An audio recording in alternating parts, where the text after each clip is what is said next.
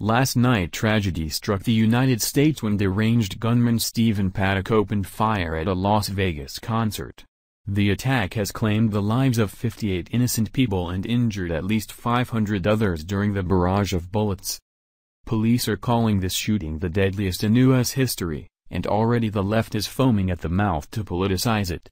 Between calls for stricter gun control and Republicans for the divisive undertones in the country, families are grieving the senseless loss of their loved ones' lives. So, to honor those lives lost by this unspeakable evil act, President Trump has ordered flags to be flown at half-mast, and of course, the left is fuming. Facebook photo of Las Vegas shooter Stephen Paddock. One would think that in a time of horrific tragedy that political agendas would be dropped for the sake of the country. However, that would be the logical thought process, and the left does not think like that. Already on social media people with ties to liberalism have already stated that do not feel sorry for the victims since most country music fans are Donald Trump supporters. And, these are the same people that claim they are resisting hate, unbelievable, right?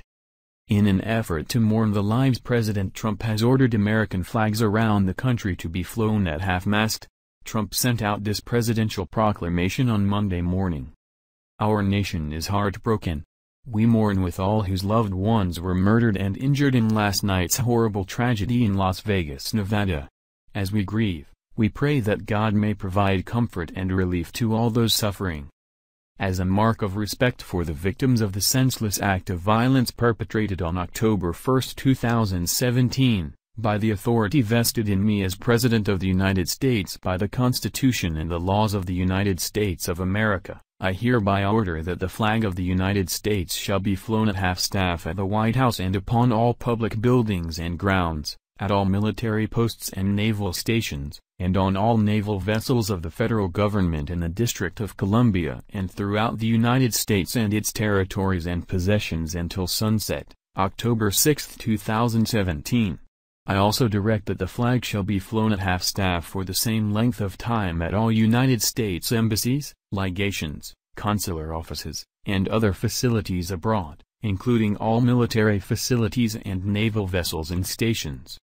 In witness whereof, I have hereunto set my hand this second day of October, in the year of our Lord 2017, and of the independence of the United States of America the 242nd. Donald J. Trump.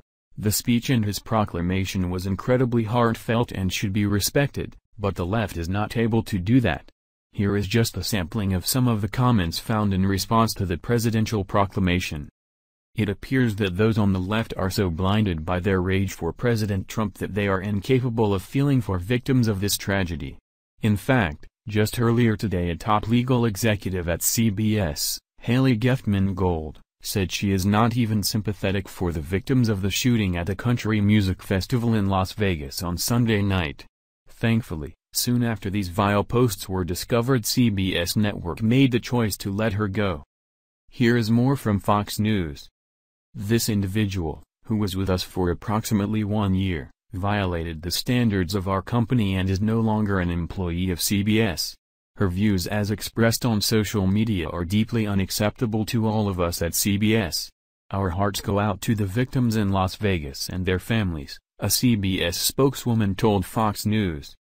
Hayley Geftman Gold, the network's now former vice president and senior counsel, took to Facebook after a gunman opened fire at the Route 91 Harvest Music Festival in Las Vegas, killing at least 58 people and sending more than 500 others to hospitals.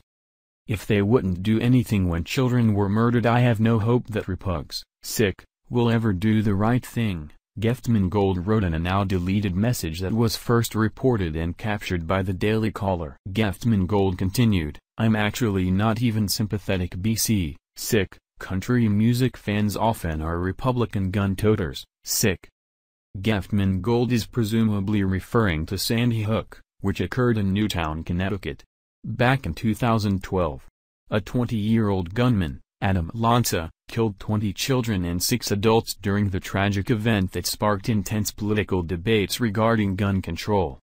Geftman Gold did not work directly with the network's news division. According to her LinkedIn bio, Geftman Gold worked at CBS since September 2016 and graduated from the prestigious Columbia University Law School in 2000. There are really no words for this type of behavior especially in light of such an egregious attack. No one deserves to be gunned down for their political beliefs at all, and for these people to continue this hateful rhetoric is disgusting. It is time, heck it is beyond the time to put this division to bed and to come together as Americans. No one is saying that you have to love President Trump but you can respect him since he is the leader of America. Thank you for watching. If you enjoyed this video, then please subscribe to my channel.